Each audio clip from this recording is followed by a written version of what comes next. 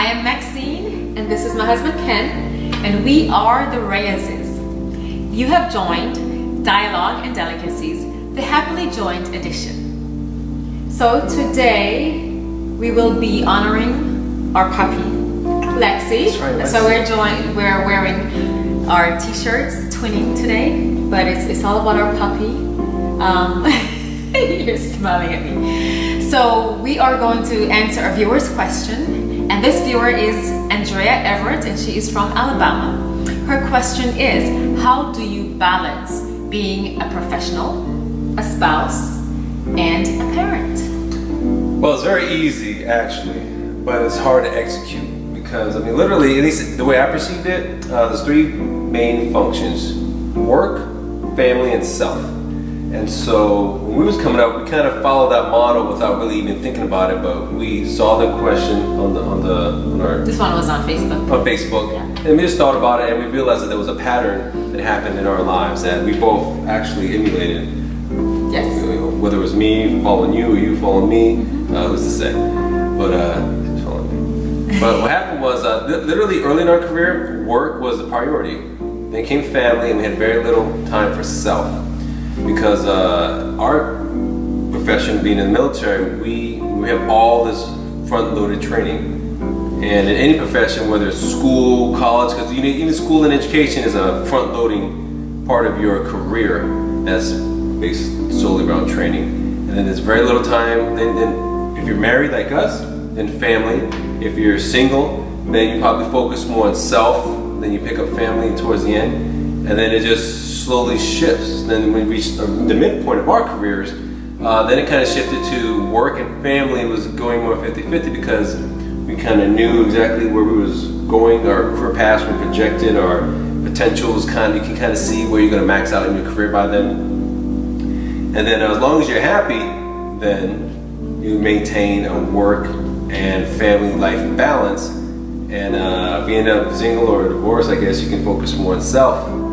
But you know, those are the three key points. And now that me and Maxine are towards the end of our careers, definitely self is the highest priority, then family, and then work. Because if you think about it, most people have their kids when they're young, so they're about grown at this point. So if they're not teenagers or older, they don't kind of need you. Unfortunately, breaks my heart to think that one day it's going to happen to me and Victoria. But they don't need you that much anymore. So you can absolutely focus on self and, uh, and then focus on family. And then as you wind down your career, then work ends up being the lower priority. Right. So it's priorities work, family, self, and you just have to establish what's more important in your life. And then that is how you balance it out. Yeah, because it's, it's all up to you.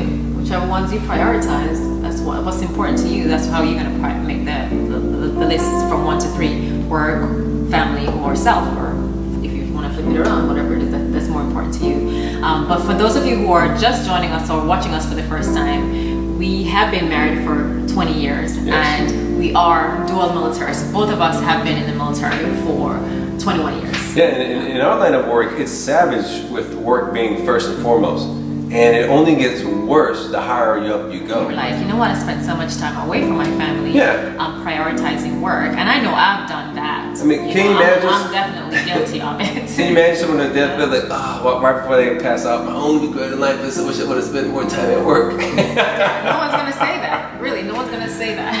and especially us, we actually love to be together. We love spending time with each Yes. other and spending time with our, our baby girl. So it's it's always hard for us when we have to put so much time into work um, and make it a priority. But you know, we try our best to balance, um, despite the rigorous schedules um, of our career, and we've been doing this for a long time. But you know, whenever you have your priorities, you know, you you have all these things that you have to do, but you have to make it a priority. Whatever is most important to you, that's how you got to do it, um, so you won't live with regrets.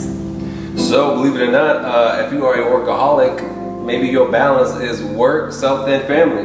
Right. And as long as that's what you want, well, hopefully your partner is uh, In agreement with in that. agreement with it, you know. But yeah, Yep. So um, yeah, for, for us, for me, I love to do uh, certain things, certain hobbies. So I've tried to incorporate my hobbies into Oh, work. yeah, yeah. Believe it or not. Um, you know, For example? for example, I love to sing. And so whenever the Army needed me, or when I was in the Air Force, whenever either branch of services uh, needed my talents, I would definitely uh, capitalize on it, I guess. I would make sure that I volunteer my time and whenever they need me, they so they won't have to pay for someone else to bring someone from the outside um, to sing at the military events. I would be the one to sing. Um, and sometimes it's not even military events. Sometimes events that want Christmas, the military to be a part of it. Of it. Certain um, holidays. Certain holidays. Certain like uh, sports, uh, national sports game. I usually sing the national anthem. I'll do it in uniform, and so uh, I will go and represent the military, and I'm also doing what I love. So that's how I got to balance it. Um, have I gotten um, slack for, for, it from some leaders? Yes, but most of my leaders they were in full support of it because I was um, representing them and placing a positive light on, on the on the military. So for for them, it was um, an advantage of having None of my hobbies translate.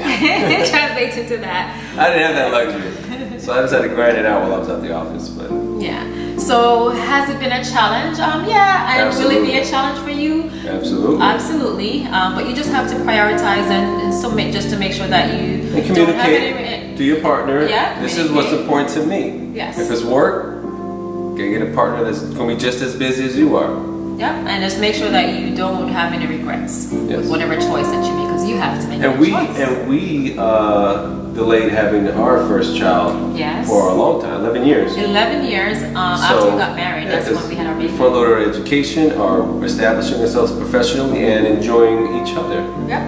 so know? we gave our we gave our um, our employer a lot of our time, really half of our career before we decided to start a family. Right. Yeah. So and then we kept our family small afterwards. Yeah.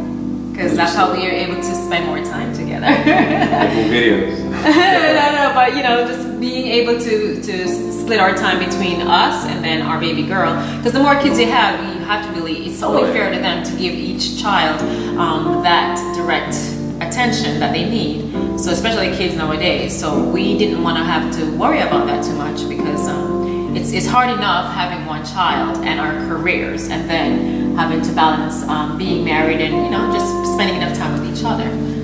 We want to make sure that we gave our child enough attention, and so we decided to have one, and that's good for us. It may not be the best thing for you guys, but you know that's another choice that you have as well.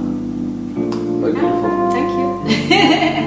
and so with that said, I hope we answered your question, Andrea.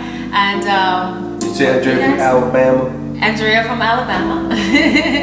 and thanks for continuing to support us, for following us on our Instagram, Facebook, Twitter pages, our, pin, our Pinterest, and um, our book, Happily Joint, The Secret to Relationship Resiliency will be available on our website, happilyjoint.com.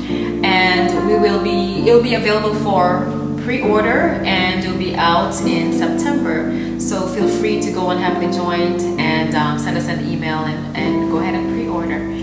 And we appreciate your support. Remember to subscribe to our YouTube channel for more of these episodes of Dialogue and Delicacies, the Happily Joint edition. With that said, go forth with courage and grace and may happiness last. Done.